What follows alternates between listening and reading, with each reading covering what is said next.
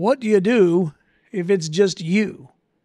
In this scenario, we're going to discuss what to do if it's only your cell phone, only your laptop, or only a single device on the network that doesn't seem, doesn't seem to be working. So, for example, you get to work and your phone just doesn't connect to the Wi Fi very well, or your laptop, or whatever. A single device. No one else is having trouble, or maybe it's a single POS and none of the others are having trouble. So, it's probably not Comcast, it's probably not the network, it's probably that device, that appliance. There's a few things you can do First of all, put in an IT ticket. Even if it is just one device, it sometimes can be the network. It sometimes can be Comcast, etc. These things are complicated. There's not a one size fits all. Well, if that one's not working, then it's definitely not the cable internet. It could be the cable internet. It's hard to explain. First things first, put in an IT ticket. Second of all, try not to use that device if it's avoidable. Now let's talk about if it's your phone or your laptop.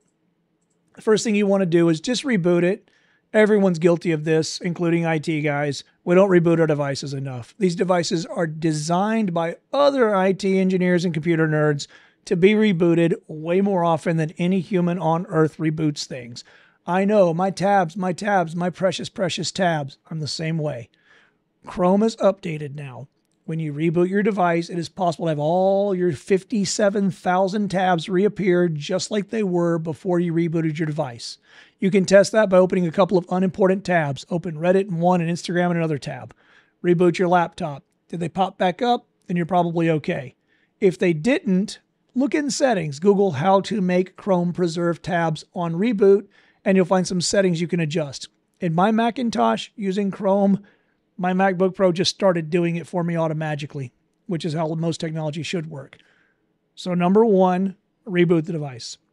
That's true of your phone as well. With Android phones, there's the two finger salute you can still do. Hold it down and hit reboot. iPhones have gotten a little weird on it. You go into settings, then you look at shutdown at the bottom. Then once it's shut down, you restart it. They've made it a little harder to restart iPhones now, but completely power cycle the device. Properly reboot your laptop, whatever it is.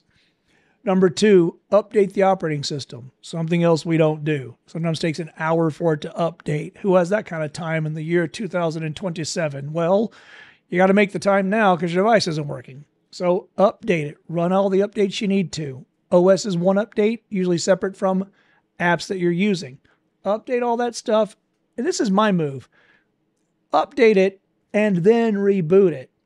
And that way it's all done at once. Here come your Chrome tabs. You know, Chrome's updated. You know, Windows or the Mac is updated. Everything's ready to go.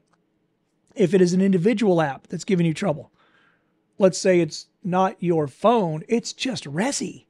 Everything else works fine. I can go to Safari or Chrome and I can type in google.com and I get to Google things, or I can type in, you know, what time is it.edu and it gives me the time.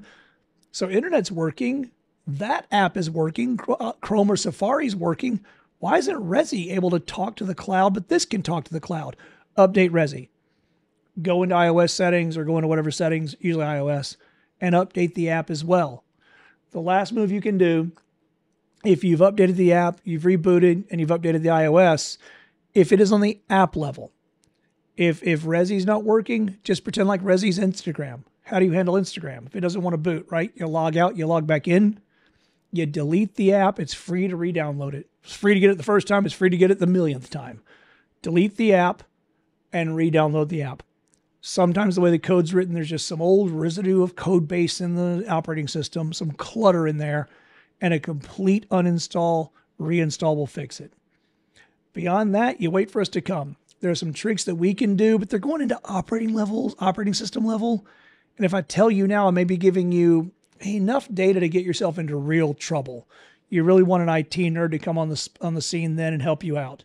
So once you've rebooted the device, updated the operating system, updated the app, and kind of rebooted the app. That's kind of what I'm doing by deleting and reinstalling. I'm just rebooting the app within.